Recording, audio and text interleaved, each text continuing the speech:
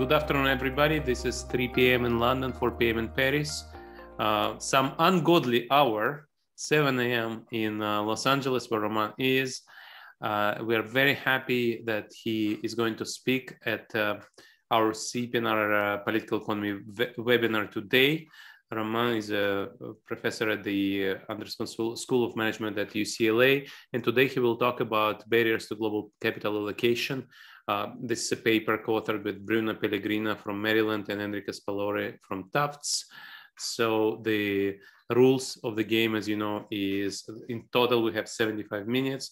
Romain will present during 60 minutes. Uh, in these 60 minutes, I will be monitoring the chat. So we, please uh, ask your questions on chat. Occasionally, I will stop Romain and ask him to uh, respond to your questions. Uh, he will not have his co-authors, Bruno and Enrico, on this uh, uh, call. So he will have to answer all the questions himself eventually. And after 60 minutes, we'll unmute people to ask questions by voice. So please welcome Romain. Uh, the floor is yours. Thank you very much, Sergei. Thank you, uh, Helios and Sergei, for this kind invitation. Uh, it's great to be here and with, uh, with, with, this group. Uh, very, very happy to be presenting this work. Uh, as Sergei mentioned, this is joint work with uh, Bruno Pellegrino, who was my PhD student at uh, UCLA and now is at the University of Maryland, and Enrico Spolaore, who's been my co-author for uh, 27 years now. So lots of papers written together. And Enrico and I, you know, more than a decade ago, we started a project on trying to measure uh, how barriers between societies, uh, mostly cultural barriers, impact uh, interactions between them. And we've written a series of papers looking at um, uh, the transmission of technologies across borders, looking at incentives for different countries at different cultural distances to engage in armed conflict with each other, We've looked at the diffusion of new norms like fertility norms across societies and how they relate uh, to cultural distance. And for a very long time, we, we, have, we have been wanting to write a paper on financial flows and how they were impeded by barriers to um, uh, barriers to interactions, basically between societies.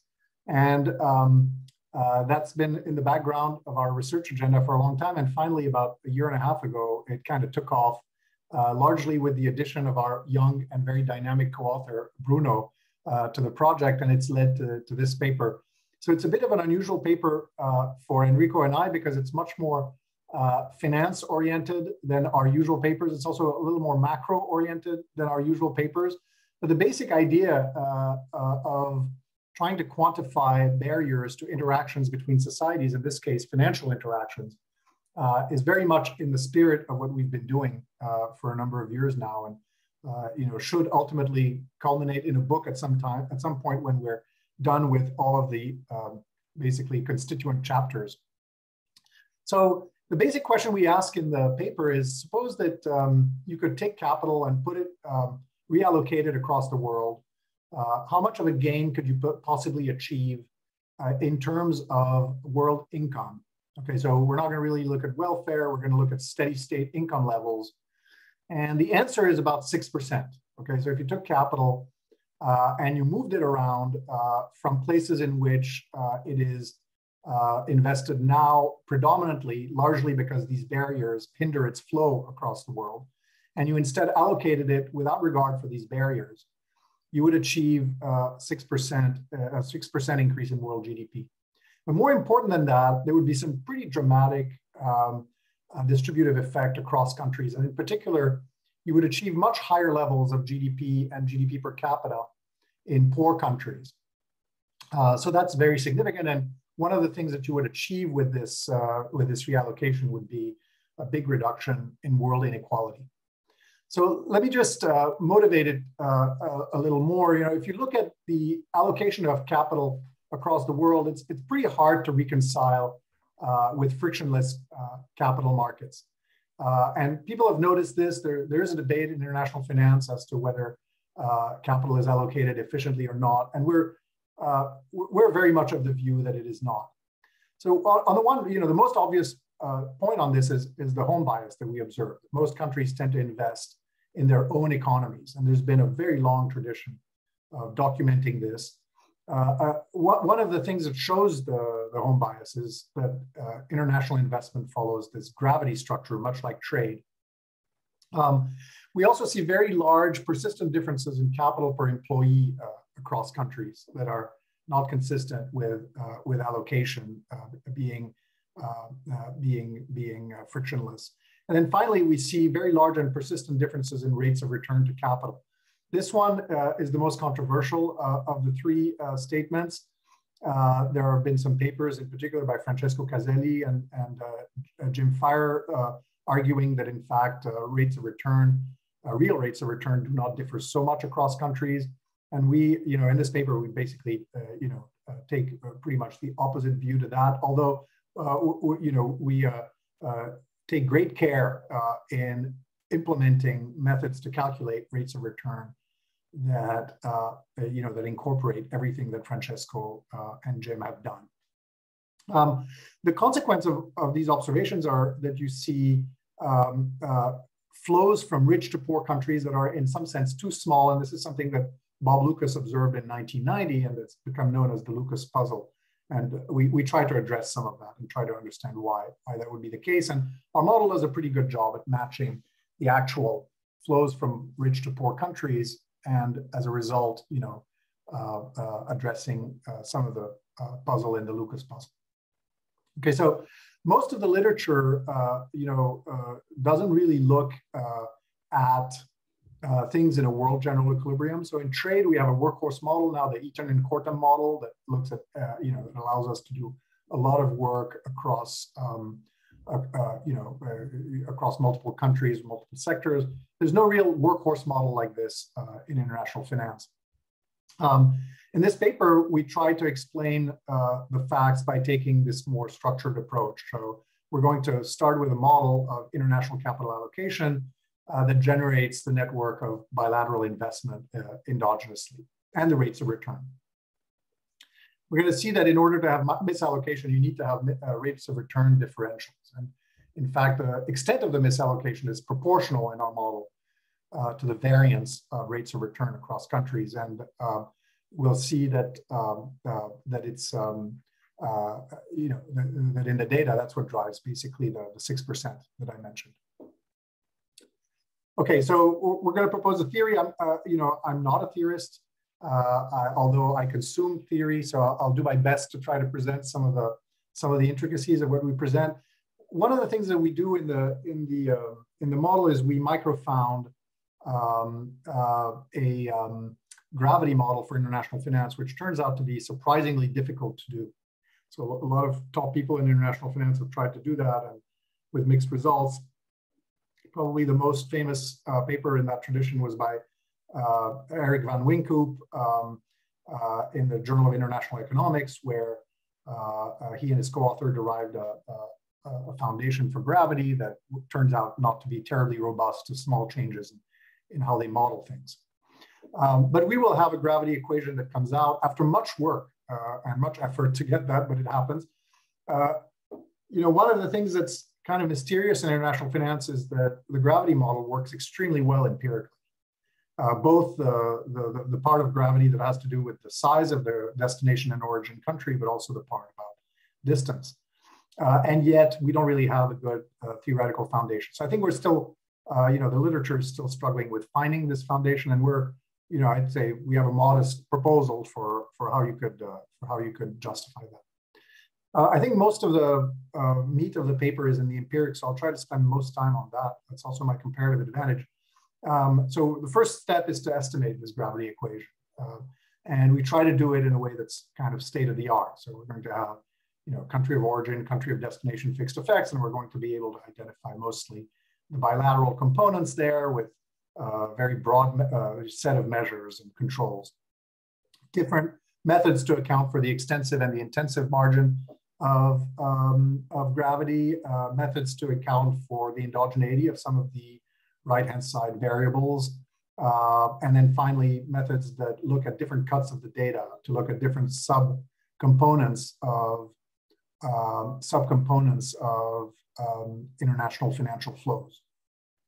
And uh, what we what we're also going to do is we're going to take the model seriously. So we're going to generate a bunch of uh, uh, distributions from the model, in particular the distribution of returns, and we're going to compare them uh, to uh, uh, returns distributions that others have, have generated to see how well the model can match stylized facts. And then finally, one thing we're going to do is a set of counterfactuals. So we're going to say, let's take the coefficients from our gravity regression and let's change them. In other words, in particular, let's take the uh, uh, distance variables and set their uh, coefficients to zero as if they didn't have any uh, effect anymore on uh, global capital flows. And let's derive the global allocation of capital uh, under this counterfactual scenario to see how much of a gain in, in welfare we get from that, and also how much of uh, we, how much we can reduce inequality across countries uh, by, by zeroing out these, uh, these barriers. So I think this is the kind of slide which people always skip, and I'm going to do the same.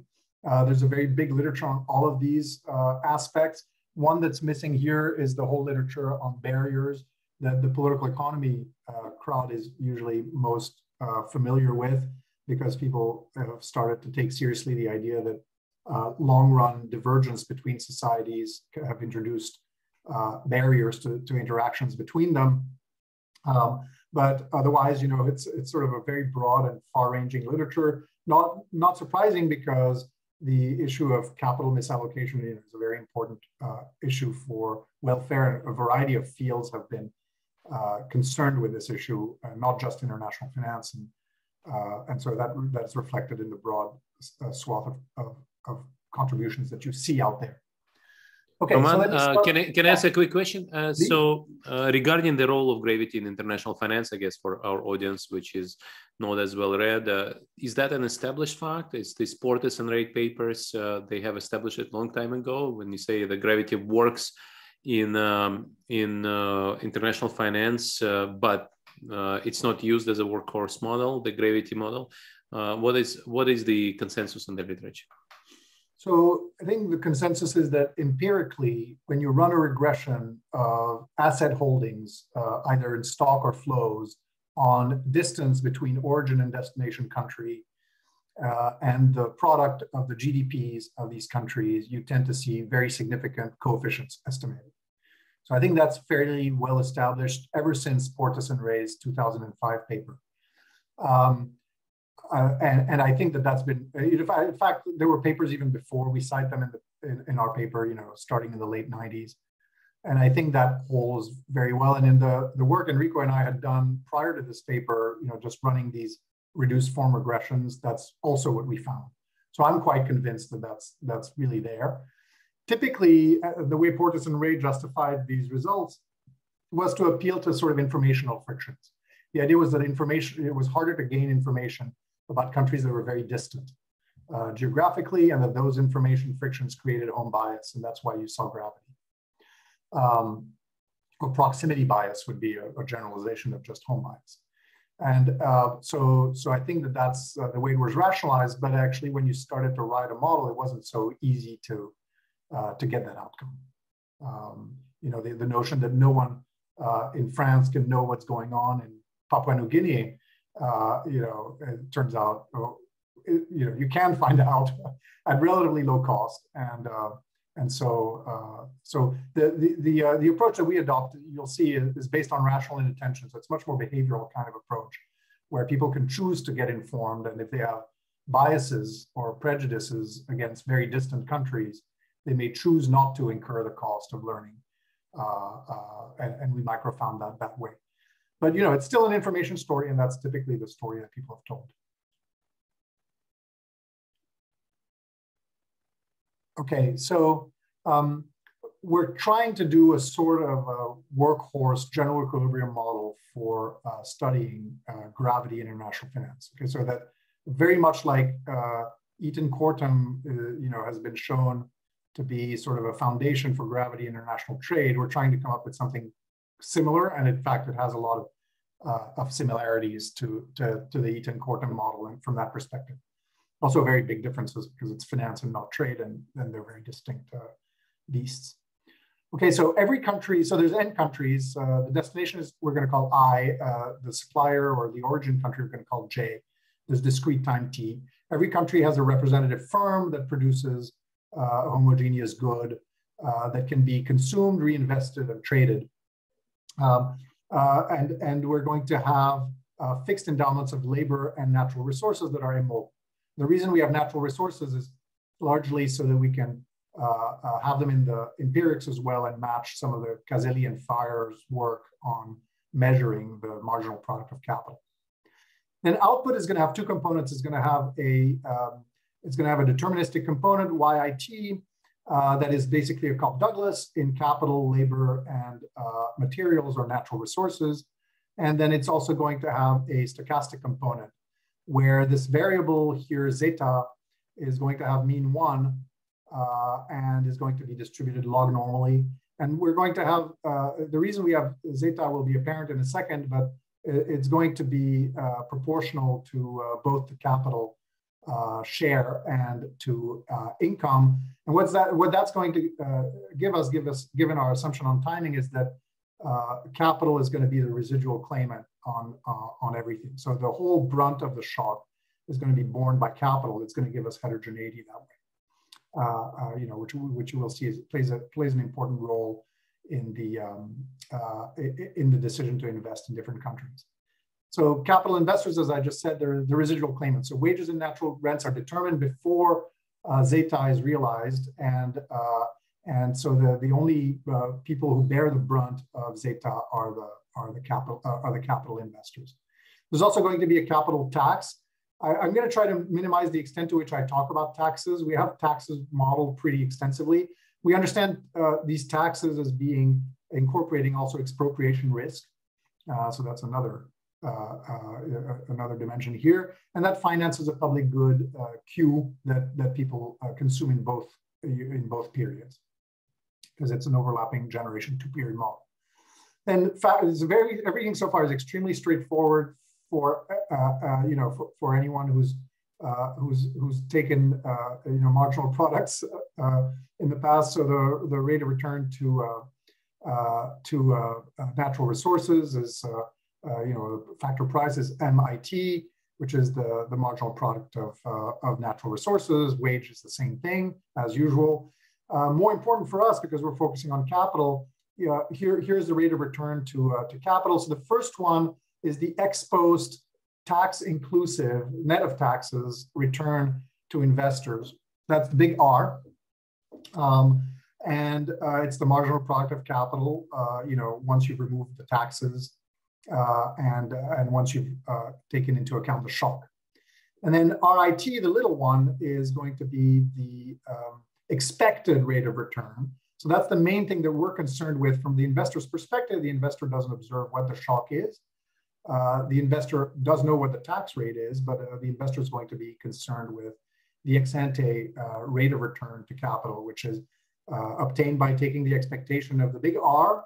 Uh, and here I've also removed the taxes. So this is the this is the gross this is the gross return. Okay. Um, then we have an overlapping generations model. So turning to, to consumers and investors, every period there's a continuum of agents uh, and they, they're born and they live for two periods. And so they, they, they basically are, uh, uh, you know, work when they're young and then they retire on their capital uh, income when they're, uh, when they're, uh, when they're old. They each have, well, they in aggregate are, have LJ units of labor and they have natural capital that they inherit from the previous generation and they supply both factors inelastically. So there's no decisions there, no margin. The only decision here is on capital, uh, which gets complicated enough, so that's good. Um, so their earnings are, in the first period, are earnings from work and ownership of natural resources. So it's uh, MX plus WL, and in period two, they retire on their capital income. Here's their utility function. They basically have a patience uh, parameter theta that's going to play a role in our model. The higher is theta, the more people are going to save. So it's actually going to be pretty closely related to the savings rate.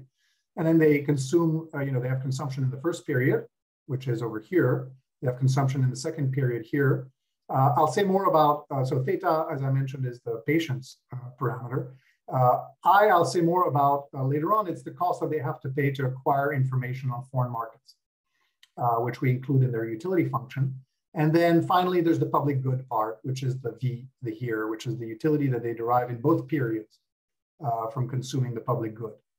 Because everything's separable, uh, both in terms of, you know, the tax and, and, and, uh, and public good decision, they're separable. We're not going to have any distortion uh, there other than on capital.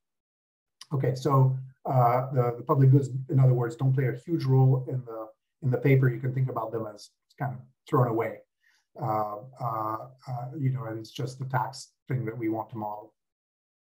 Okay, so here's here's the, the, what happens in steady state. So steady state is where all the variables take constant values across time, and that's what we focus on. So this paper does not look at all at transition. We only look at steady states. And uh, you have this, uh, this form of the um, uh, of, of, aggregate savings, which is you know in dollar terms. So it's this share of total income. Okay, that depends on the patient's parameter uh, naturally, and it also depends on these um, uh, factor shares, the factor shares of labor and, and, natural resources. Okay, so here's the real innovation in the model. So far, what I've said is a very standard general equilibrium uh, model, in fact, quite simple uh, with, with very standard preferences and, and, and, um, and production structures. Where, where the model uh, sort of is a bit different is when it comes to information. So uh, we're going to have uh, investors who are the, the, the, consumers that make their asset allocation decisions uh, under limited information about the expected returns. Because so they're going to have a prior uh, and they're going to uh, uh, then generate, you know, they're going to be able to extract signals, costly signals, in order to learn about the true distribution of returns. So the real object of interest here is this R tilde, which is the perceived returns that, that investors have. Uh, and we're going to call their prior G, okay? So, uh, um, uh, you know, they, they, can, they, they, can, they can purchase essentially a signal about the distribution of returns uh, uh, with any distribution. So I should say, because the, the problem they face is very simple. There's a bunch of countries out there that each have a rate of return. And uh, the only problem that consumers have is they don't know what those rates of returns are. If they knew what the rates of returns were, uh, they would invest all of their capital in the country that has the highest rate of return. Okay. So in this particular version of the model, it's a bit different. They will invest their capital in the market in which they perceive to have the highest rate of return, which may, may or may not be the actual market that has the highest rate of return. Okay.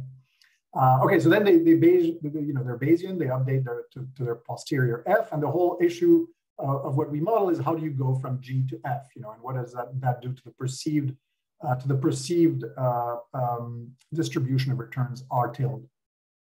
So uh, to get these signals about the distribution of returns, they're going to have to incur a utility cost. Uh, and we assume that the utility cost is essentially uh, proportional to how informative the signal is. So if you reduce, you know, if you, if you, if you, basically the signal is extremely informative, um, uh, uh, then you're going to pay a high cost. And so this cost i that you saw in the utility function, it takes this form. Okay? So it has um, a sigma here. So if sigma is very high, essentially the cost is zero. Okay, if sigma is very low, uh, then the cost is prohibitive to um, um uh, to obtaining to obtaining information about uh, about the distribution of returns. So the investors are atomistic and they're each going to choose one country to invest in. So because each country has you know, a continuum of investors, the country is actually going to have a portfolio, but each investor is not going to have a portfolio. So that's very different from usual portfolio stories based on risk. Uh, this is not a portfolio story based on risk. The, the objective for investors is to maximize their, uh, their net uh, return.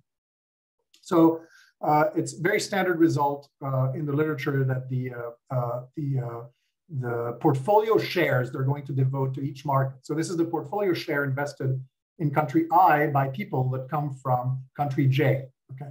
It's going to take this form, which comes from the Logit formulation.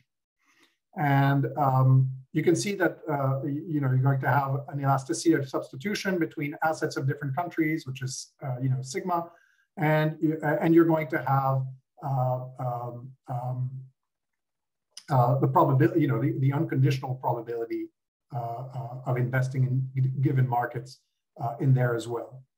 So there's no known closed form solutions in general. Uh, um, but if you have, um, uh, we, we show in the paper, and that was one of Bruno's great achievements uh, after much work, uh, showing that uh, uh, if you assume that the prior has this distribution, then you can have a closed form solution for, for the pi zeros, for, for these unconditional probabilities that takes this form. So the precision of the gamma distribution is, is this phi variable. It's going to be very important. Uh, and uh, you know the, the, the, the relative precision uh, uh, that you have from each market. So this is basically how precise is you know is your signal from market I if you come from country J uh, relative to the total is going to give you the shares, the, the ex ante shares. So um, uh, there's two priors that you could have. So one prior that's kind of that turns out to be efficient. Uh, you know, this is this is going to be an assumption. Would be to just invest uh, the share uh, a, a, share of your of your portfolio, uh, you know, at the country level, in proportion to how big the other country's capital stocks are. Okay, so let's say you know France has you know five percent of the world capital stock, then all the investors around the world are going to invest five percent of their portfolio in France. Or a more precise way to say this is every country of origin is going to invest 5% of their portfolio in France. So that's the sort of, uh, uh, you know, the sort of benchmark result. Uh, what we assume instead is that instead of doing this, uh, investors are going to um, have a precision that depends on the distance. So the idea is that the cost of obtaining signals from very distant locations is going to be increasing uh, in distance, basically. So that's how we introduce distance. So you can see already that gravity based on size you have from the efficient uh, assumption. Uh, you get that you will invest more in larger countries. And you will also have more to invest if you are yourself large, so the product of uh, GDPs will matter uh, through this channel. What we add to this that gives us gravity with respect to distances is, uh, is the fact that this information acquisition cost is is harder to, uh, to uh, you know, is, is higher when you're acquiring information about very distant countries. And this is natural. I mean, we think that, you know, if you are Portugal, you know, it might be harder to, uh, uh, to gain uh, information about Papua New Guinea than it would be about Brazil. So in, in, this case, it would be an example where D is cultural distance, you know, and, and you're just, you know, it's just easier for a variety of reasons. Maybe it has to do with ling linguistic distance or uh, understanding or having had a common history, or maybe simply with physical distance. We're going to consider all of these as, as possibilities. So this dependence of the prior on distances is, is what's going to give us informational advantage. Uh, uh, in other words, you're going to have an informational advantage uh, uh in acquiring information about countries that are close to, uh, to your own. So, you know, I kind of gave you the intuition for why we have gravity, but we show also uh, we show also that you get gravity uh, formally, so you can figure out the portfolio shares. Uh, in this case, it's actually not uh, written in terms of shares. A is actually the asset ownership in dollars, okay? And it has this, uh, it has this gravity form. You can see the gravity here. You've got the product of, of the two GDPs up here in the numerator, and in the denominator, you've got the you've got the distances there. So it's very much exactly what you get in gravity and trade. All right, so that's that's what we have. Uh, uh, that's what we have here in terms of, of the gravity. So um, uh, we're, we're going to look at some efficiency results because ultimately we're going to want to do not really welfare analysis, but at least analysis on distortions on GDP. And um, so if, if, beta is zero, that's where you get essentially efficiency in this model. The only inefficiency comes from the, from the friction to international capital flows. And um, uh, we're going to say that um, uh, for, for every world capital, we're going to we show that it's easy to see that for every world capital stock, there's a unique uh, allocation of capital across the world that is efficient. Um, so there's no informational uh, uh, advantage, and if all assets markets are in equilibrium, uh, all origin countries are going to hold identical portfolios of foreign assets, meaning their shares of the uh, of each destination market are going to be the same across across all across all origins.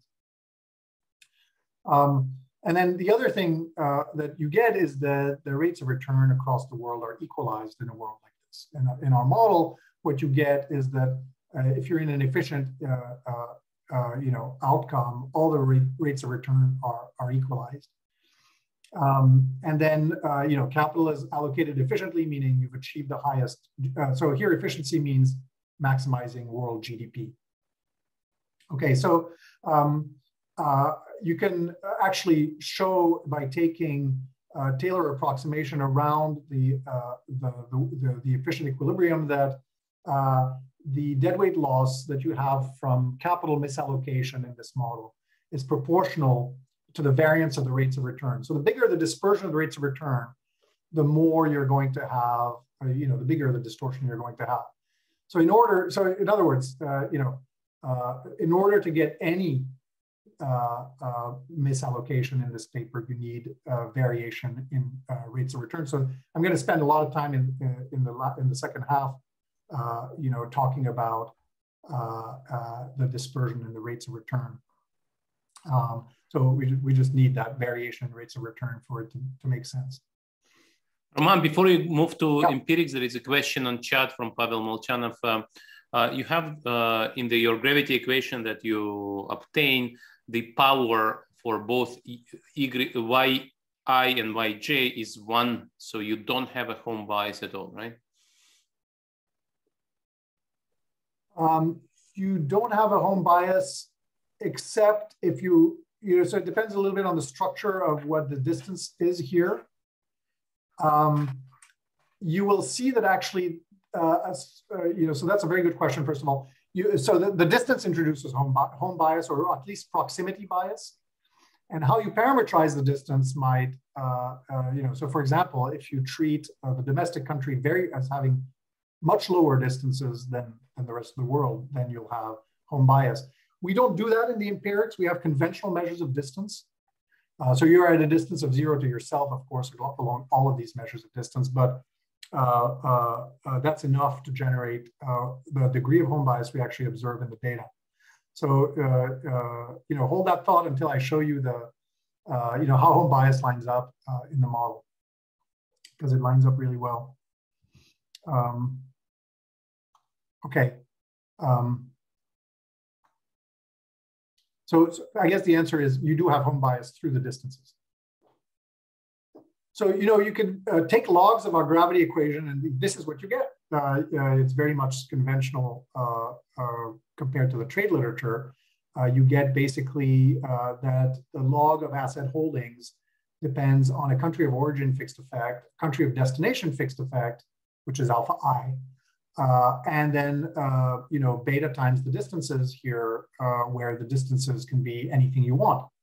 Uh, we're gonna we're gonna actually have three distances in our empirics. Now, when it comes to A, you know, there, there's a lot of progress that's been made in measuring asset holdings across borders. We're gonna look at stock measures of asset holdings across borders. Uh, uh, we're going to have, you know, both uh, stocks holdings from I to J and J to I. So we're going to have an N by N kind of matrix. Uh, um, um, and, and importantly, both of our measures, when it comes to FDI and foreign portfolio investment, are going to be restated to account for uh, the existence of uh, tax havens. You know, so a lot of the foreign investment uh, uh you know, is mediated by places like the Cayman Islands, in which you have shell companies that funnel uh, the investment for tax reasons. And uh, some authors, it's not us, but we take their data.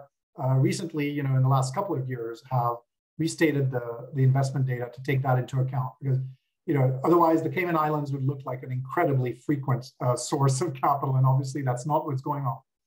So we use these restated things in the appendix. We have an exercise where we use the non-restated uh, uh, uh, figures. It doesn't matter a whole lot, but it's better to use the restated ones. We're also going to rejig the data a little bit. So we're, we're, we're interested in making a distinction between equity and debt. And the data come uh, as FDI, which is all equity, and foreign portfolio investment, which mixes equity and debt. We're going to extract the debt portion of foreign portfolio investment and add up the two equity uh, measures to get a measure of equity investment and debt investment. We're also going to have total assets, and we're also going to have FDI and FPI separately. I think the reason why we do uh, this is that the distinction between FDI and FPI has come under a lot of criticism. Uh, you know, there's this arbitrary uh, 10% cutoff where we consider things to be an FDI investment, which is sort of arbitrary and not really well founded. So we're, we're trying to shy away from this distinction. When it comes to the Ds, the distance metrics, we, we're going to have three. Uh, geographic distance, which is the, the usual one. Uh, linguistic distance, which you know we've worked a lot. I've worked a lot with with Enrico and other co-authors uh, over the years in trying to better measure. We're going to use a measure from Jim Fearon, and then cultural distance, which is a measure Enrico and I came up with a few years ago uh, in, in, the context of another project where we looked at um, uh, you know distance, basically Euclidean distance based on uh, answers to the World Values Survey. So we're going to take each country, we're going to look at uh, the, the average answers to the World Values Survey, and we're going to look at the distance in these answers uh, across pairs of countries. That's going to be a measure of uh, cultural distance. in other work, Enrico and I have shown that um, this measure is highly correlated with uh, other measures of, uh, of cultural distance you might think of, you know, our famous genetic distance measure, but also uh, linguistic distance, religious distance, all of those things are highly correlated with uh, the, this direct thing that you observe from the World Values Survey. Um, we were trying to look for measures that would have a cont contemporary effect and, and, uh, and to take the, the more historically determined ones like religious distance, uh, you know, and, and use them as instruments. We're also going to have a lot of control variables there. Uh, uh, so we made some choices as to what we called a barrier and what we didn't call a barrier. The barriers are these three things. That's what we're going to play with. Uh, in principle, you could do other things. You could say, imagine that I, uh, you know, went back in history and eliminated all colonial relationships, or if I could eliminate trade costs, uh, uh, or if I could have every country, you know, have a, a single currency, et cetera, what would be the effect on financial flows? And in principle, you could do that. We don't. We just don't do that. We don't do counterfactuals with respect to these controls. We only do counterfactuals with respect to the three uh, main ones.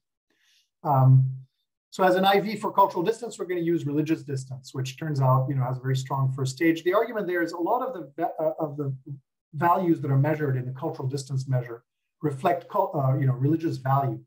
So do you believe in God? Do you believe in the afterlife, etc. Uh, and religious distance, in contrast, is just a purely sort of it comes from cladistics. It's basically based on trees, you know, so, you know, you say Protestants and Catholics are closer uh, uh, to each other than Catholics are to Muslims, and Catholics and Muslims are closer to each other than they are to, say, Buddhists. And it's based on these, uh, on these trees. Um, uh, and so it, it, really reflects the splits in religions that have occurred, uh, you know, far in the past, and not not anything. And not surprisingly, that's correlated with actual values that people have, including religious values. Okay, um, uh, okay, so the, the, the, reason we think that's excludable uh, is uh, that you know the, the only way these uh, historical splits um, between world religions affect uh, you know current investment patterns is through their effect on current values that people actually have, controlling for all the other uh, observables that we have. It turns out not to matter very much. So uh, mostly what you get from instrumenting for cultural distance is you get a bigger effect of cultural distance. So we, we underplay that a little bit. We don't even use the IV as the baseline coefficients for our calibrations. Uh, we're going to use OLS because they're more conservative, they're smaller. Um, when it comes to country data, it's very standard. You know, we get uh, from the Penn tables, we get all the standard variables. From the World Bank, we get the share of natural capital, which we need to get our, uh, our rates of return. Um, uh, taxes, so let me go a little bit fast on this. Taxes have two components. We have a tax rate and we also have a, uh, probability of expropriation, uh, which is there. When it comes to tax rates, we take into account a whole bunch of different taxes. And that was a lot of work to get country level data on this and to aggregate it into a single tax rate. Um, and then, uh, uh, you know, PR, it's just based on these surveys, uh, uh, you know, that give a score that ranges from zero to 10 on expropriation risk.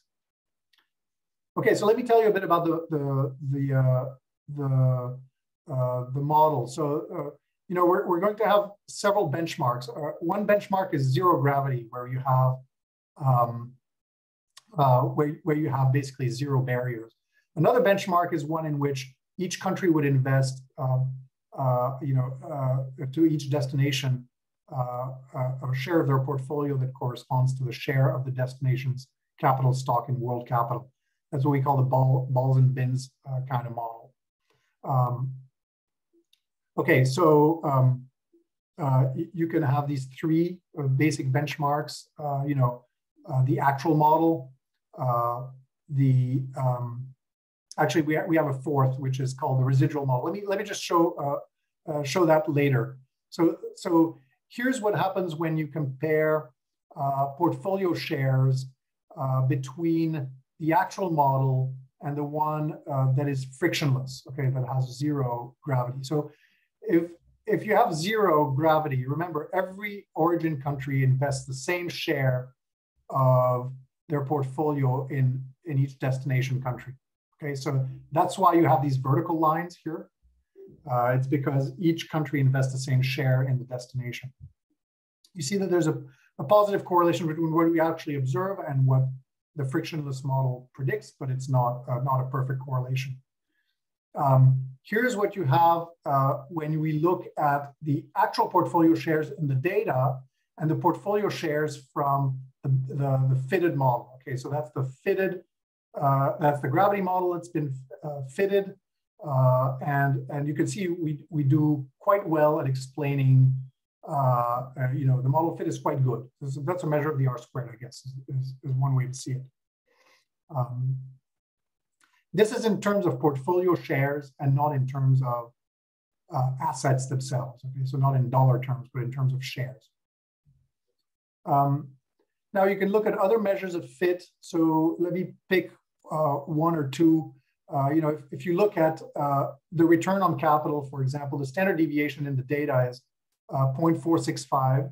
The, the way we get the return on capital in the data is we, uh, uh, you know, apply the Caselli and Feyrer um, methodology to the Penn World tables, exactly the way they do it for 2017. Okay, so it's a different base year that we have compared to them. Turns out to play a big role. So if you apply their method to 2017, you get a substantial uh, standard deviation of rates of return, which remember is really crucial in our model. And then if you get the same thing from our baseline model, so instead of doing the Caselli and Feyrer methodology applied directly to the, to the data, you take our model, look at the implied rates of return given the estimates that we have on, uh, on, on the, on, on the um, gravity model, uh, you, you get a slightly higher standard deviation uh, of returns. Okay. Now, of course, if you have a frictionless model, remember if there's no barriers at all, all the rates of return are equalized across countries. So that's why you have this zero here. Um, in, a, in, a, in a version of our model with no frictions, you have no devi no no uh, no distortion. There's no, no misallocation. Okay, you, you know, the other uh, things match pretty well, you know, the standard error of capital per employee. Again, you know, in a frictionless model, you can already see our result from the counterfactual here. You know, the standard deviation of capital per employee is much smaller uh, than what you would have, uh, uh you know, under a world with, with borders. Um, and that, that's, you know, well, you'll see the intuition for that, but it's basically countries that are at the periphery of world capital markets, you know, tend to be very distant, both culturally and geographically. Uh, and so as a result of that, they are left in the dark. You know, they're left in the lurch. They don't get enough capital, and uh, and so that's what makes their uh, they're they're too poor. You know, compared to what you would have in a uh, in a in in a, in a world with no frictions. So so very distant uh, culturally and geographically countries. You know, they're kind of discriminated against more uh, in this model. If you want to call it discrimination, I don't know. That's the modern word way to phrase things. Um, okay, uh, another thing is you would have no home bias. In other words, you would invest the share of capital that corresponds to the share of the country if you had a frictionless model. But in the baseline model, you do have, uh, you know, home bias. This is our measure of home bias. It's sort of the deviation between the actual portfolio share, uh, so either data or model implied, and the one that you would get if you had a share of the portfolio that were just a share of the capital in the aggregate world capital stock. so each destination country I has a capital stock Ki, and Ki divided by K, that, that, that gives you the uh, uh, its share in the world capital stock. So that's the benchmark, right? So if, if everyone invests, you know, a share of the capital stock, you, you get, uh, you're in the frictionless world. So in a frictionless world, you know, there's there's uh, the home bias would be zero. Uh, this measure would be would be zero. Okay. Um, let me just uh, maybe skip over that because these graphs, these figures are nicer to look at. This is home bias, so it's the same measure of home bias I just discussed. Uh, pi, you know, log pi minus log ki over k. And we, here we compare what's implied by the model. Okay, so we generate these this measure from the model and we compare it to what we see in the data.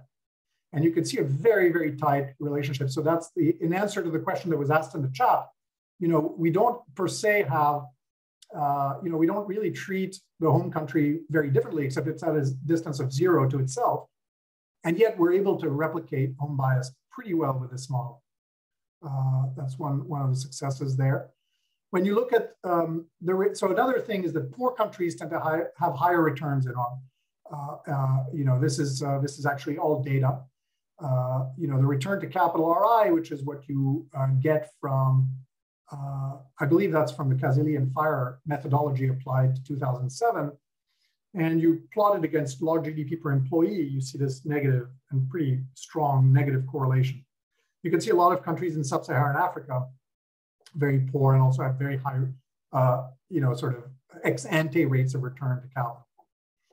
Um, Romain, uh, so when you say correlation, so for example, in this chart, uh, rho is 77 or rho is minus 0.63. This is just cross country across those dots you're showing us, right? Okay. Yeah, yeah, that's that's the correlation. In, that's this line. Yes, it's the correlation in this in this in this graph. So and and both of those come from. Can I ask? A, can I ask? A, especially data. There is right? a question so, from Orkan or Orkan Orkan Asaka is asking if. Uh, if you drop home countries themselves, would uh, uh, would uh, would the model perform similarly?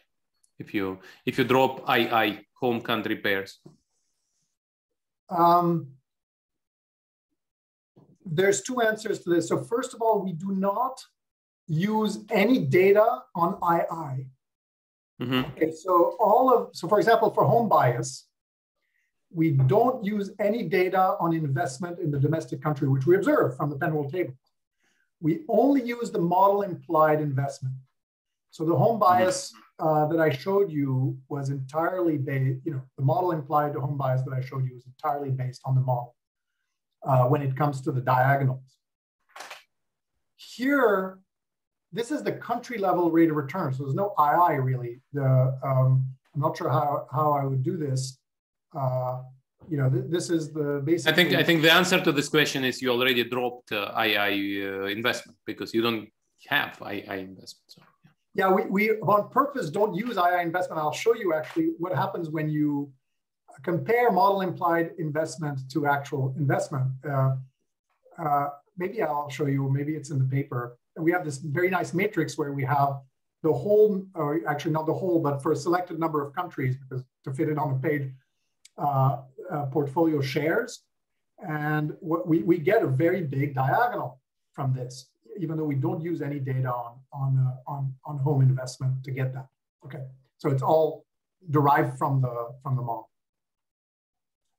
Um, I don't know if that answers the question, but maybe the, the, the answer will come a bit later. So maybe hold that thought. Uh, so this is the relationship between return on capital and home bias. And it shouldn't be surprising. Like the countries that have high home bias should have high returns to capital because they are more insulated. You know, they have, they have these higher, bigger barriers toward the rest of the world. Okay, so and that's exactly what you see very strongly. Okay, so that was sort of model fit. You know, it was to convince you that the model actually manages to replicate a lot of the facts that we see uh, in the in the raw data, or, or not so raw data when it comes to returns. You actually have to do some work to get them, but uh, uh, but basically, um, or, you know, data implied as opposed to model implied. So um, the next step, and I guess uh, you know I have only 10 minutes, so it's good because I'll manage to, to, to finish before we, we go to questions. Uh, when we when we move to zero gravity, that means we take all the betas and make them zero. Um, we get an increase in world GDP that's about 5.9%. So that's the 6% I gave you early early on. If you remove the um, um, uh, information frictions a lot. So sorry, so I misspoke. So in the first counterfactual, you remove all the betas and you make all the taxes uniform. Okay, so all the countries have the same rate of taxation, tau i. So that removes both the policy frictions and the information frictions. Remember that we're not estimating the tau i's, right? We just plug them in the model. So there's no elasticity or anything to estimate. The only elasticities that we estimate in the model are the, the distance, the, the betas.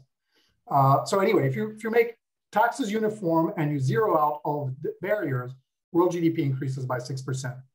If you remove uh, the betas alone, but you keep the policy barriers or the taxes, uh, the GDP loss is almost the same. And if you um, remove only the policy frictions and you keep in place the information frictions, the GDP loss is only about 1.3%. Bottom line is that all of the action here is on the barriers and not on the policy. Not all of the action, but most of the action. And also the interaction. But, you, but, you, but uh, sorry, sorry, but your policy frictions also include expropriation risks, right? Yes. So, yeah, okay, they do. Um, the the the you know, and but they're multiplicative, right? So they they basically reduce the return to capital net, the net return of, to capital, just in the conventional way. Uh, tau times k, you know, uh, tau times r gives you the net of uh, tax return. So we don't need to estimate anything. We just multiply by whatever we calculated the taxes to be, and uh, and and we can get the distortion from taxes that way. So, so just because again, you know, taxes affect the distribution of returns to the extent it changes the distribution of returns, in proportion to that, it's going to give us misallocation. Uh, okay, so the the end the end result of that is probably the differences in taxes across countries uh, don't change the distribution of returns that dramatically. Okay. Um, in fact, if, if every country had the same tax rate, uh, the distribution of returns would be unchanged. That would be the efficient outcome, actually. If you had no information frictions and all the taxes were uniform, you would be in the, uh, in the efficient outcome. And the reason it's efficient is because the public good doesn't distort any decision here. It's all entirely separable. Um, that's that's a model feature. I mean, we're, you know, I'm not yeah, I don't personally take that very seriously. Uh, I, I, do think that taxes and spending have distortive effects. Um, so taxes interact with other frictions. So what you see here is that actually if you isolate the information frictions, you get almost the same distortion, right? Uh, so that means there's some multicollinearity between taxes and, and distances. You know, perhaps the more distant countries also have higher taxes. And so, yeah, something like that is going on. Um, uh, so it's also a second best problem, right? So you have the information friction and you have the taxes. It's not obvious that harmonizing all the taxes across the world will actually uh, improve things, given that you have this other distortion present. Um, what we can show and we do in the model is that you can set taxes so that you offset the distortion from informational advantage.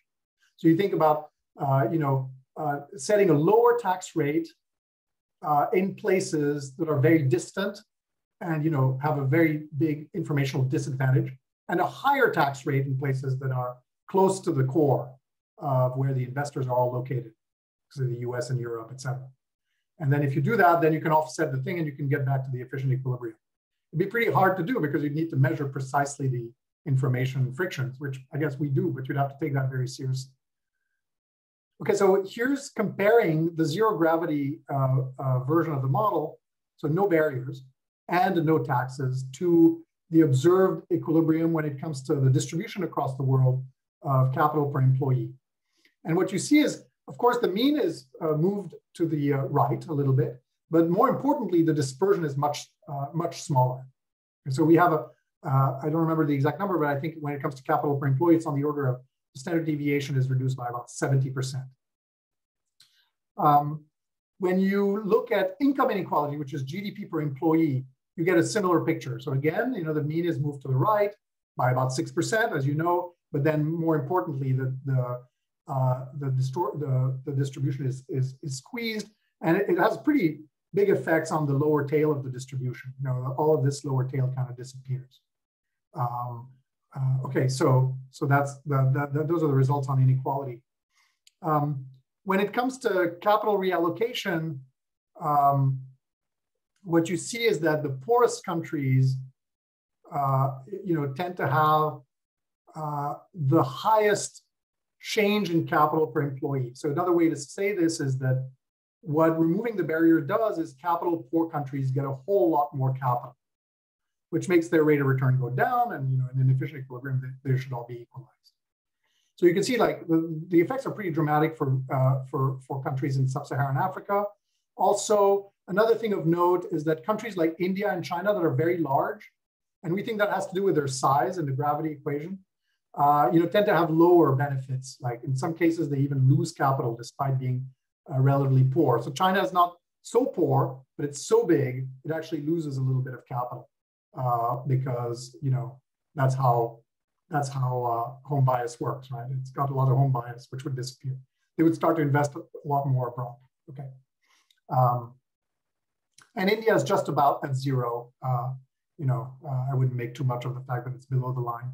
Uh, I gave this talk several times in India, or you know, on Zoom, but with an audience located in India, and they were freaked out. What do you mean? You know, we should close our capital markets? you know, I'm like, no, no, that's not the implication. It's just, uh, it's gravity. So, you know, size really matters here. Um,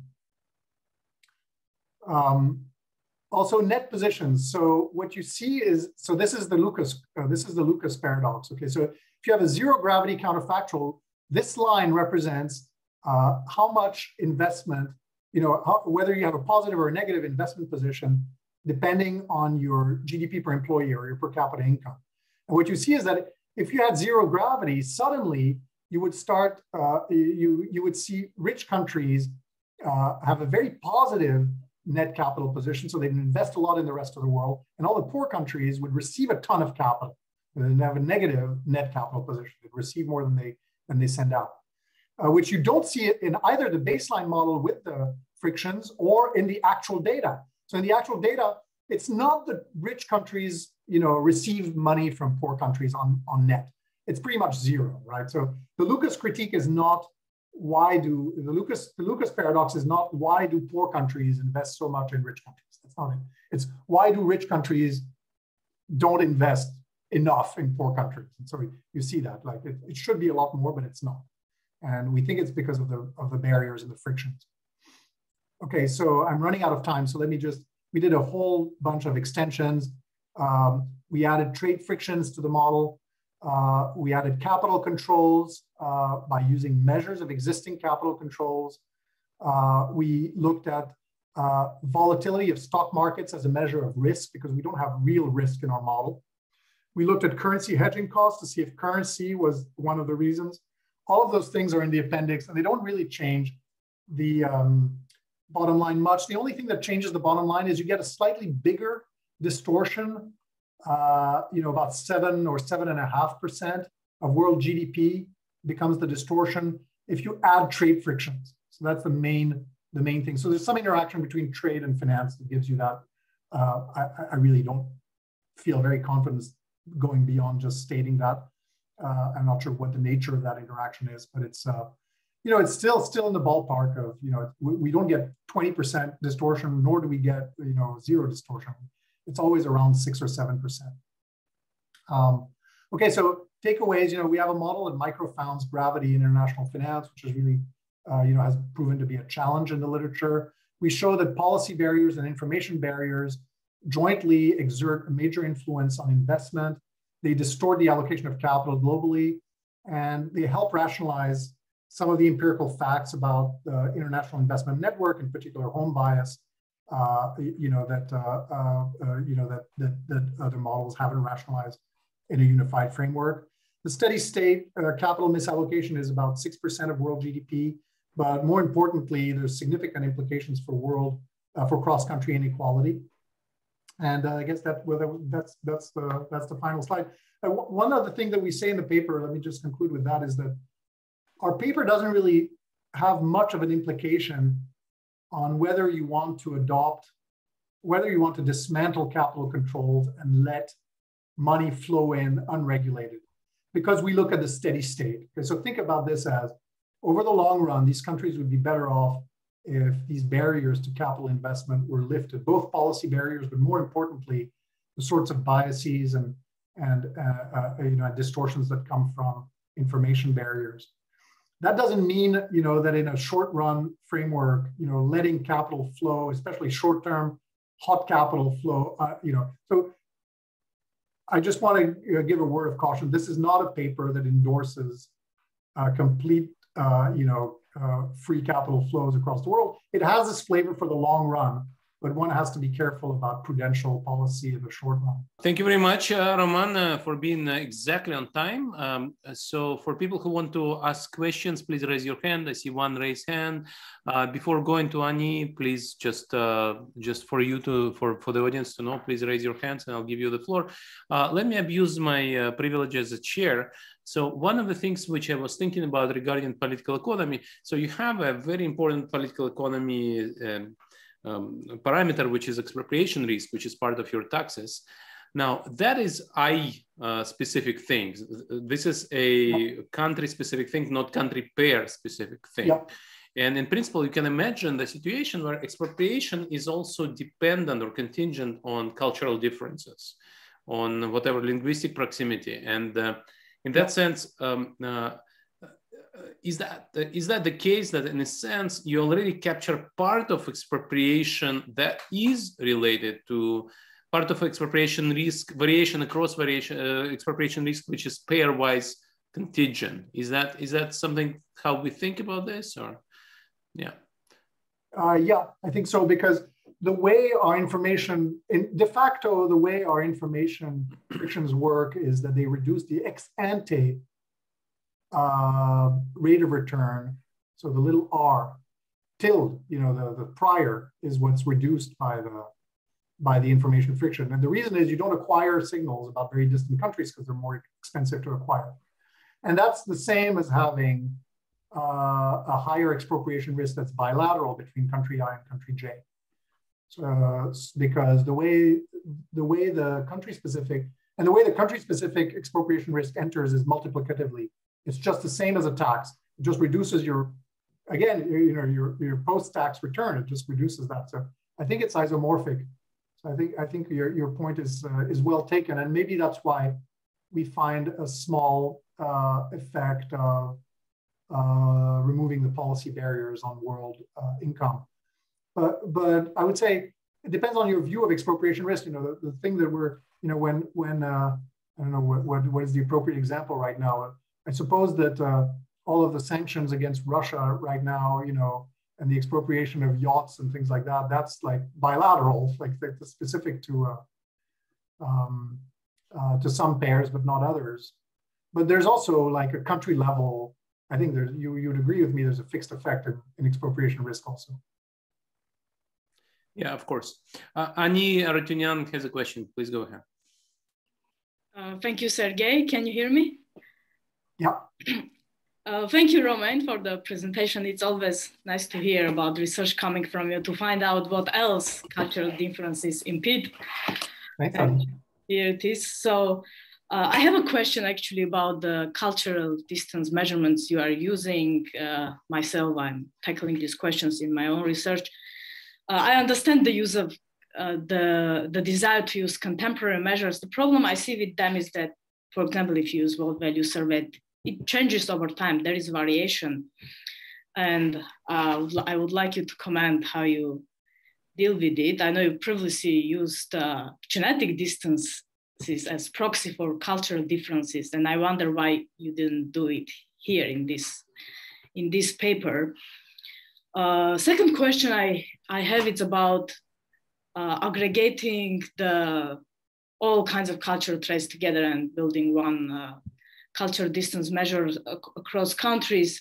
I wonder whether there is any interest, like research interests of actually disaggregating it and looking through the cultural traits to find out which cultural traits uh, has a stronger effect. In particular, when I look, okay, there's like a component of national identity. Yeah. So is it like that nationalist countries like to invest on each other and globalist countries like to invest yeah. on each other and not other way around? And the third question I have is about the IV. Probably is going to be the most questionable part of the research, as usually is in economics research. So uh, you use uh, religious distances. I've never seen this used as an IV for cultural differences before, but uh, totally makes sense to me. Um, I wonder why not to use also, I mean, the alternatives that has been used in the literature before as IV for cultural differences like uh, differences in blood types or genetic distance itself. Uh, so these are the questions again I'm tackling in my own research and I would love to uh, hear about your approaches. Thank you. Thank you. These are great questions. I might have to ask you to, to remind me, uh, you know, because there, there were three. Um, but your, your first one was on the use of, uh, on the variation across time of the World Value Survey. Yeah, so what we're trying to do is to capture the, first, you know, maybe the, the most persistent part. So we've averaged all of the waves in this particular case. So we don't look, you know, we've taken all the waves since the early 80s of the World Value Survey and we've uh, taken, we, we, we basically aggregate them. We take, we extract a set of common questions across countries and we uh, uh, look at all the answers uh, to those questions without regard for time. But I completely agree with you that in principle, you know, first of all, we might want to focus on the, you know, all of the exercise that I showed you was for 2017. And we might want to focus on the answers that have to do with, with that date. And that's a fair point. This is more of a sort of proof of concept than, than anything else, you know, uh, when it comes to the actual implementation of, of this.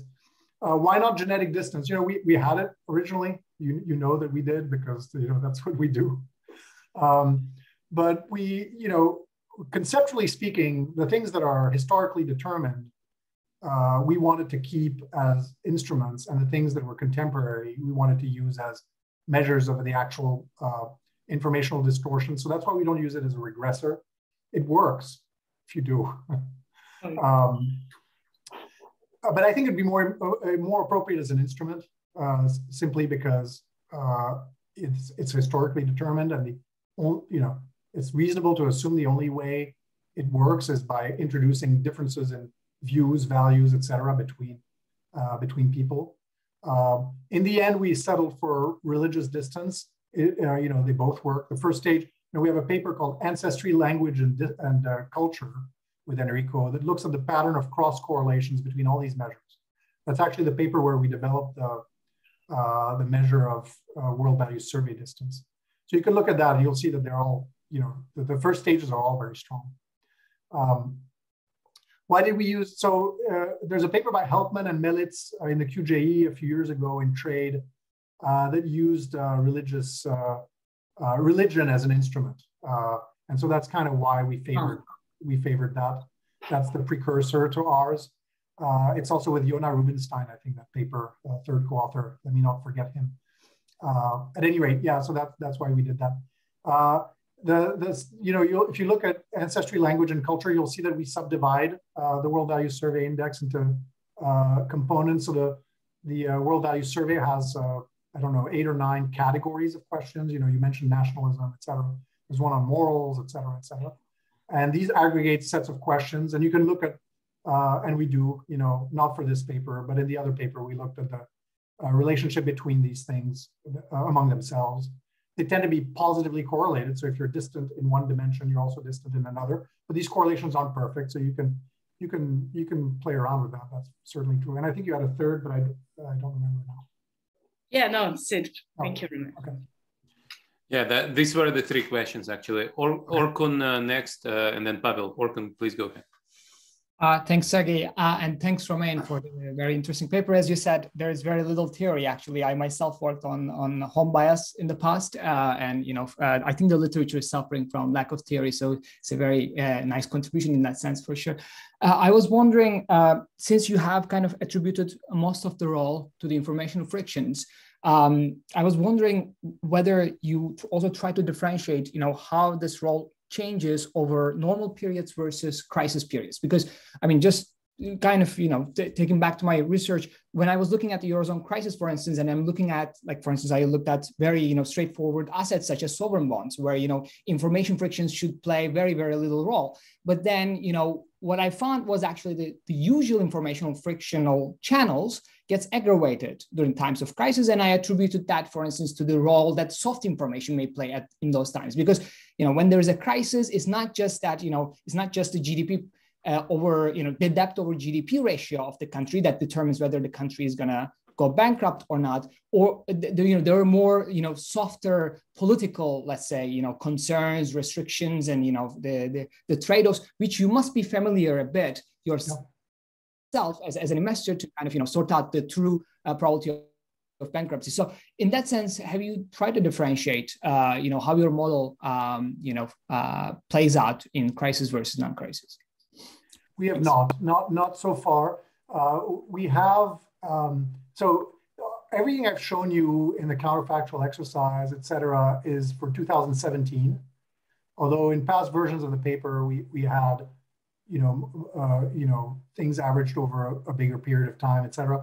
Partly it's for data quality reasons. That's where we think the data is the best. It's also a year where you didn't have like huge outliers, like, uh, you know, major capital outflows from Turkey, you know, uh, uh or things like that that occurred. Um, so uh, uh, so so it seems like you know it was like a, a year that kind of could be representative of a steady state in a, in a sense in that sense. But you're absolutely right you know out of out of steady state you know how would the model react would be important. And applying this you know and doing this exercise for different years is really important. One of the big uh, aspects of Caselli and Feyrer is they did I don't remember what year it was. I think 2007 was their data. Uh, and it turns out it's very important so people have shown, and it's not us, but people, for, for example, uh, uh, uh, you know, in the in the David and all paper that I that we cite on dispersion and rates of return, it turns out that if you do Caselli and Feyrer for for for other years beside 2007, which was the year before the global financial crisis, you get quite different uh, distributions of returns.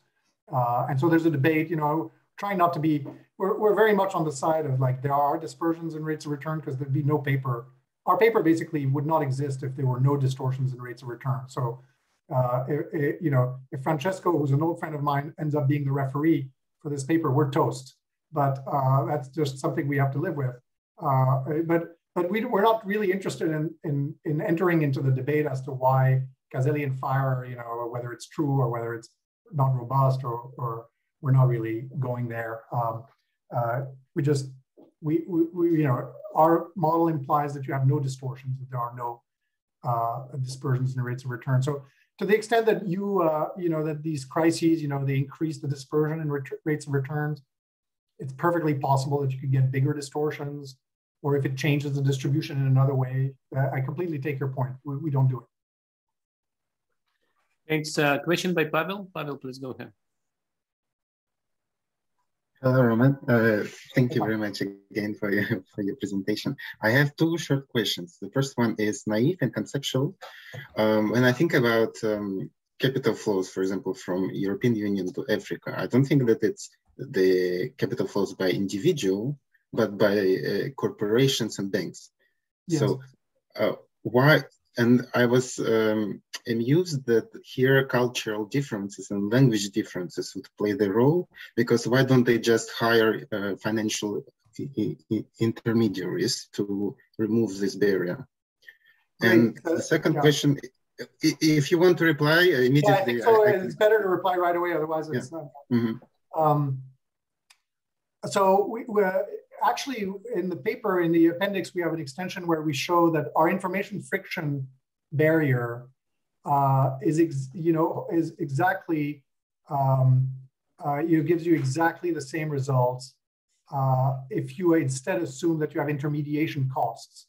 All that we need mm -hmm. is that the cost of hiring the intermediary, which is your alternative modeling mm -hmm. choice, uh, is proportional to the distance. So that hiring someone from Papua New Guinea is more expensive to a Portuguese investor than hiring someone from Spain. Okay, mm, um, that that's what we would need to get the same thing. I think it's reasonable to assume that intermediation costs are higher when you um, uh, uh, when you're more distant. But then you would you would get you get exactly the same outcome. I mean, you wouldn't need all that rational inattention thing and all of that, which I actually, you know, Personally, I, I prefer simpler models. So I was on the side of having that in the end. You know, when you have three co-authors, you can get a majority against you. And, uh, and that ended up in the appendix. But I, I think that's a fine modeling choice also. And uh, you just have to buy that the intermediation cost depends on distances. I see, I see, thank you. Uh, very interesting. And my second question is more technical. So in international trade in, in, in goods, um, we try to take into account intranational uh, trade flows to correctly identify trade costs because normally they're identified only in relative terms. yeah. and to avoid distance puzzle, right? So my question is, would it be important here? Would it be possible to include it here or there is no data, for example, on international capital flows? Okay. So um, this is the same question which was essentially asked during the talk. What do you do if you include uh, trade flows II? Yeah, uh, investment flows II. Oh, okay. I'm sorry, so sorry. the model implies, you know, so in the model, you invest in your own country. Uh, so if you if you look at the total savings, you know, it gets divided into the part that mm -hmm. goes abroad and the part that stays at home. So in the model, you have II investment. Um, and mm -hmm. uh, once you calibrate, you know, sigma to one half, you add the betas, you measure Y and K using the world, uh, you know, using the Penn World tables, and you do all the, uh, basically the, the quantification of the model that I showed. Mm -hmm. You generate II investment from that. Okay. And then you can, mm -hmm. I actually didn't show the matrix, but it's in the paper. Uh, what you can do is you can compare the model implied II investment the actually observed II investment. These are not intra-country flows between regions because we don't have that dimension. This is aggregate investment of the country in itself. Uh, and they line up very okay. well. Yeah, they line up very mm -hmm. well. So, you know, and that's the flip side of home bias. If I show you that home bias lines up very well, then by definition, the residual of that is, you know, the residual from that is what each country invests in their own country. That's going to line up very well too. So mm-hmm. it lines up very well. Yeah. Great. Uh, thank you very much. Thank you. We, we have it in the model. We don't use II investment data to generate anything that I showed you, except to confirm that you know the model implied II investment matches the distribution of actual II investment. Thank you. Thank you. Excellent. Thanks. Uh, we run out of questions, but we also run out of time. And uh, uh, we will close in a second. I just want to thank Roman again, and I see people applaud uh, on Zoom. And uh, I would also mention that the next seminar will be May 4th with Claudio Ferraz speaking, and the one after will be June 1st by Leeat Yariv. Uh, and so, uh, as usual, it's 3 p.m. London time, 4 p.m. Central European time. So thank you very much, uh, Roman, for this excellent thank you, presentation. Sergey, for the invitation. Thank you.